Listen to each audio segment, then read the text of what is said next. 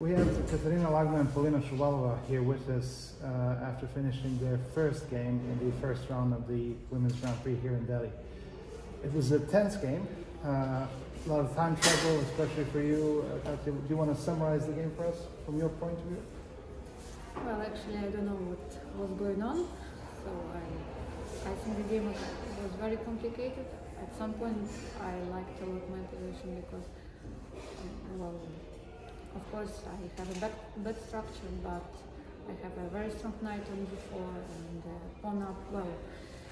But it was still, as I, as I told you, it was still very complicated. I mean, I made um, a mistake, I think rook a5, so, and after that I had some troubles to solve, and I was lucky to, to do it, to manage it.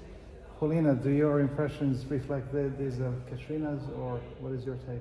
It was very calculate, uh, calculated game. And uh, I think after rook a5, or 95 I had an initiative. And then I thought that rook d4 maybe was a mistake because of bishop e6 and knight e6. But then, yeah, after rook e2, uh, and it was still unclear. Yeah, I think it's more like a draw. Then maybe I had some chances because I still like my position, like I could not lose. But maybe it was nothing, I don't know. Overall, would you both say that this was a okay start for the start of the tournament for you two? Katrina, do you want to go first? Yes, definitely. I was, I was glad, and uh, of course, it's, it's always tricky to play the first round, so yeah, I'm pretty much fine. Polina, from your end?